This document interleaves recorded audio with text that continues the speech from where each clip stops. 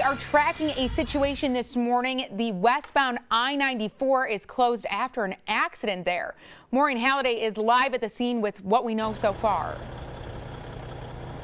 Well, we are standing just next to the accident. I want to show you uh, this trailer that's it right in front of us. Now, it's hooked up to a tow truck now.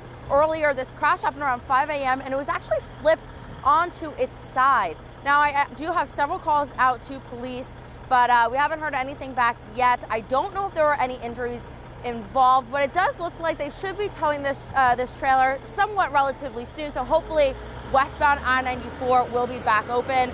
Uh, now, again, traffic is backed up pretty uh, pretty bad down I-94. Again, just westbound is closed. They are rerouting traffic to Elm Road.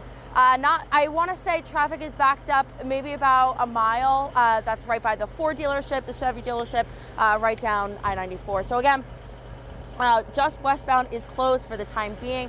I'm going to be working to find.